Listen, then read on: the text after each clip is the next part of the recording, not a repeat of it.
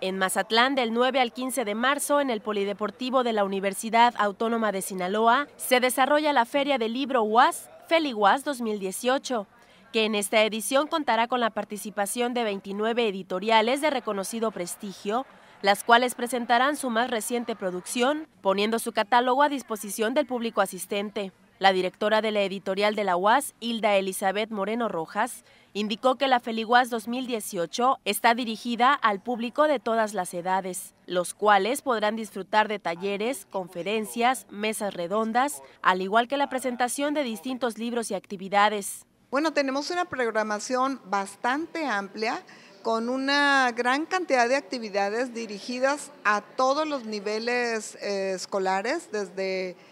primaria, secundaria, preparatoria, adultos, eh, bebés incluso, porque la feria tiene dos tipos, digamos, de eventos, los que están dirigidos al público infantil y juvenil, que son prácticamente por la mañana, y todos aquellos eh, vespertinos que están dirigidos a todo tipo de público, pero pensando más en los lectores más maduros. El evento busca generar valores, fomentar la lectura y la escritura entre niños, jóvenes y adultos. Es la primera ocasión que se tendrá la presencia de editoriales académicas y comerciales, algunas de ellas pertenecientes a reconocidas instituciones educativas como la Universidad Autónoma de Baja California Sur, quien es invitada de honor. Lo que queremos es fomentar el hábito de la lectura, incrementar nuestra comunidad lectora, llevar más libros a nuestras comunidades lectoras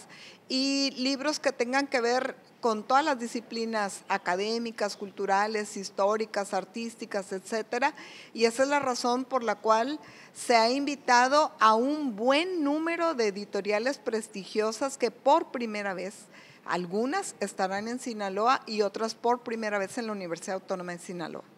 Llamó a los jóvenes de la comunidad universitaria de la UAS y de otras instituciones que aprovechen la Feria del Libro. Ahí se destaca la conferencia magistral que impartirá Jaime Labastida, poeta y pensador sinaloense que será homenajeado en esta edición de la Feliguas y quien además clausurará el evento con un recital de su propia poesía. Imágenes y edición Pedro Velarde, las noticias TVP, Paloma Gutiérrez.